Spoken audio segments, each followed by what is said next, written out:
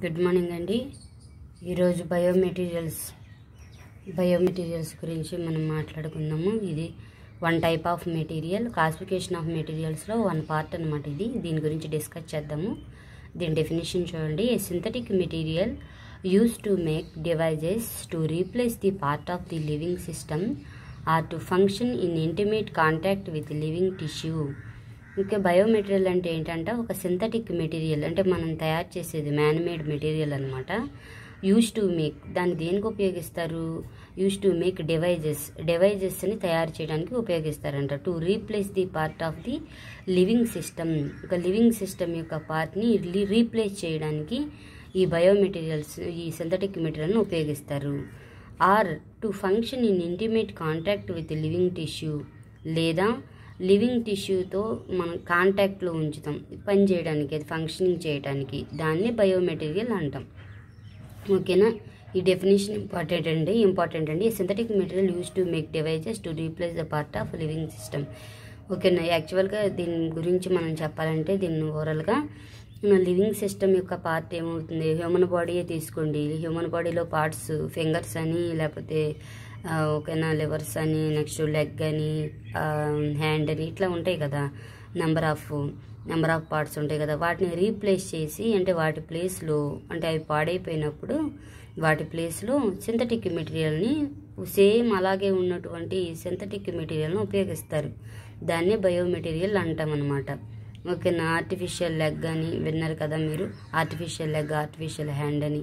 అట్లా యాక్సిడెంట్లో గురైనప్పుడు వాటిని తీసేసి వేరే మెటీరియల్ వేస్తారు వేరే లెగ్ ఓకేనా వేస్తారు కదా. అవన్నీ దేంతో తయారు చేయబడి ఉంటాయి అంటే బయోమెటీరియల్స్ అంటాం వాటిని.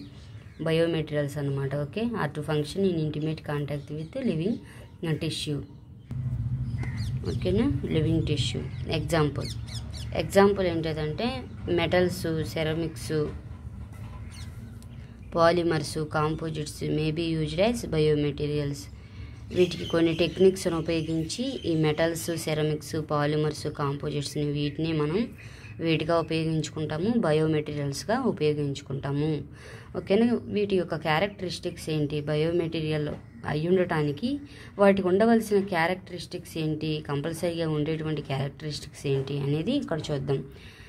High compatibility and corrosion resistant. High compatibility అంటే ఏంటిది? దానికి అంటే లివింగ్ టిష్యూతో అవి కంపాటబుల్ అవ్వాలన్నమాట అంటే సూట్ అవ్వాలి. ఓకేనా? హై కంపాటబిలిటీ అంటాం. And corrosion resistance. Corrosion resist అంటే హై కంపాటబిలిటీ అంటే అర్థమైందా మీకు? మనం వేసేటువంటి ఓకేనా? Artificial leg for example artificial leg అనేది ఇంకా పైన ఉన్నటువంటి హిప్తో కంపాటబుల్ అవ్వాలి. బయోమెటీరియల్కి ఉండవలసిన లక్షణం. మరియు ఇంకేం ఉండాలి? కరోజన్ రెసిస్టెన్స్ అంటే తుప్పు తినేస్తే ఇంకా అసలు ఆర్టిఫిషియల్ లెగ్ కానీ ఆర్టిఫిషియల్ హ్యాండ్ కానీ ఉపయోగపడవు కదా. కంపల్సరీగా ఏం కలిగి ఉండాలి? ఏం కలిగి ఉంటాయి అంట? బయోమెటీరియల్స్ అంటే కరోజన్ రెసిస్టెన్స్ కలిగి ఉంటాయి. Next mechanical property such as strength stiffness and fatigue properties mechanical properties కలిగి ఉంటాయి స్ట్రెంత్గా ఉంటాయి స్టిఫ్నెస్గా ఉంటాయి ఫ్యాటిక్ ప్రాపర్టీస్ కలిగి ఉంటాయి. ఓకేనా? అవి అంత స్ట్రెంగ్తన్గా ఉంటాయి అని ఇక్కడ చెప్తున్నారు fatigue properties.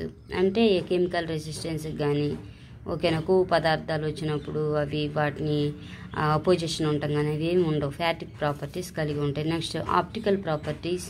If material is used in eye skin etcetera material కనుక ఒక మెటీరియల్ కనుక బయోమెటీరియల్తో తయారు చేయబడి ఉంటాయి అవి దేనిలో? Eye skin. ఓకేనా?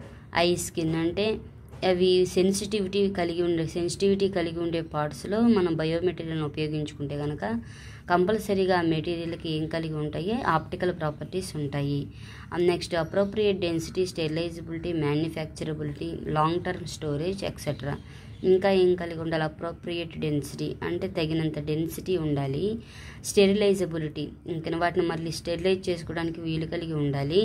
మ్యానుఫ్యాక్చరబిలిటీ ఓకేనా? వాటిని తయారు చేసుకోగలిగినటువంటి ప్రాపర్టీ కలిగి ఉంటుంది నెక్స్ట్ లాంగ్ టర్మ్ స్టోరేజ్ ఎక్కువ కాలం ఉండగలిగినటువంటివి ఉండాలి. ఎక్కువ ఎక్కువ కాలం మనం స్టోరేజ్ చేసుకున్న ఓకే నా బయోమెటీరియల్స్ ఎటువంటి ఇబ్బంది కలిగించకూడదు. Next do not irritate the surrounding structures ఓకేనా ఏం చేస్తారు? కొన్నిసార్లు మీరు గమనించినట్లయితే మనం ఏదైతే మెటీరియల్ని అంటే బయో మెటీరియల్ని మనం ఇంప్లాంట్ చేస్తామో మన హ్యూమన్ హ్యూమన్ బీయింగ్స్ హ్యూమన్ ఆర్గానిజంలో లేకపోతే హ్యూమన్ బాడీలో మనం ఇన్సర్ట్ చేసినప్పుడు అవి పక్కన వాటికి సరౌండింగ్ మెటీరియల్స్కి ఇరిటేషన్కి తెప్పించకూడదు ఇరిటేషన్ కలిగించకూడదు. ఓకేనా?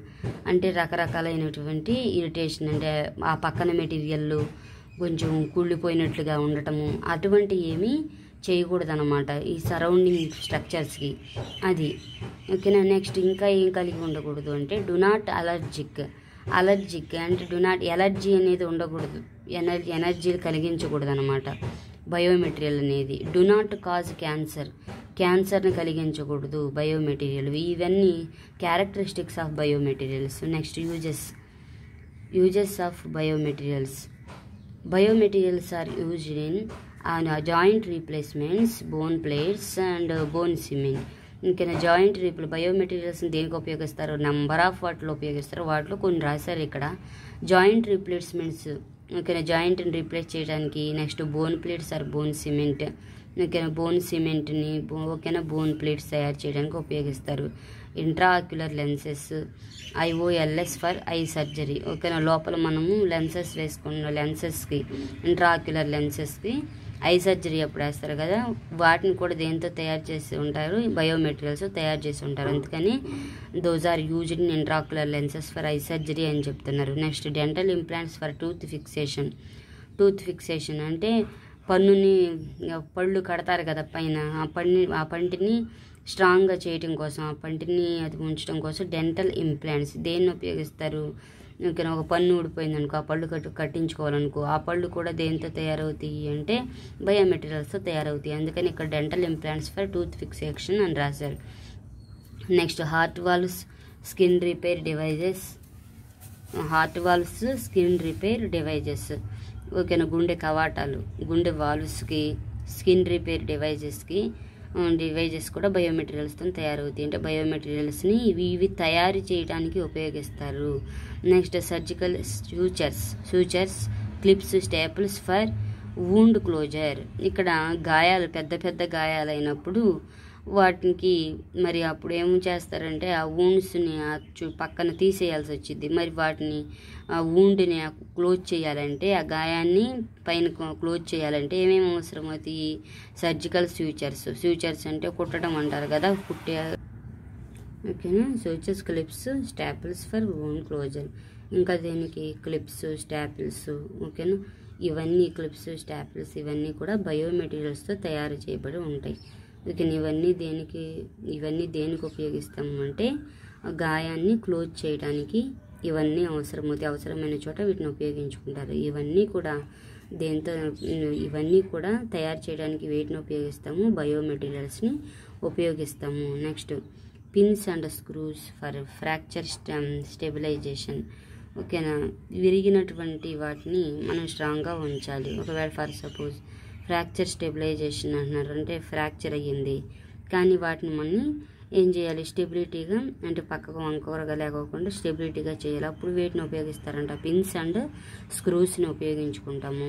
ఓకే ఈ పిన్స్ స్క్రూస్ కూడా దేంతో తయారు చేయబడిన పిన్స్ స్క్రూస్ బయోమెటీరియల్స్తో తయారు చేయబడినటువంటి పిన్స్ అండ్ స్క్రూస్. ఓకేనా? ఈ అసలు ఎందుకు ఉపయోగపడతాయి బయోమెటీరియల్స్ తయారు చేయబడి అంటే అవి ఏమవుతాయి అంటే కొన్నాళ్ళకి బాడీలో కలిసిపోతాయి. బాడీలో కలిసిపోతాయి అని మనకి ఇబ్బంది ఏమి ఉండదు అనమాట సర్జికల్ మెష్ ఇది కూడా అంతే. మెష్ సర్జికల్ మెష్ సర్జరీ చేసేటప్పుడు ఆ మెష్ ఆఫ్ అవసరమైనప్పుడు వేస్తారు. ఈ సర్జికల్ మెష్ని తయారు చేయడానికి కూడా బయోమెటీరియల్స్ని మనం ఉపయోగించుకుంటాం. ఇవి. These are the applications of biomaterials ఇది మొత్తం కూడా బయోమెటీరియల్స్ టాపిక్ అండి. ఈ టాపిక్స్ కనుక ఇప్పుడు నేను చెప్పిన నోట్స్ కనుక మీరు రాస్తే మీకు ఫుల్ మార్క్స్ వస్తాయి. తప్పకుండా ఫుల్ మార్క్స్ వస్తాయి. దీనిలో డౌట్ ఏమీ ఉండదు. ఓకే అండి ఇప్పటివరకు విన్నందుకు చాలా thank you thank you for watching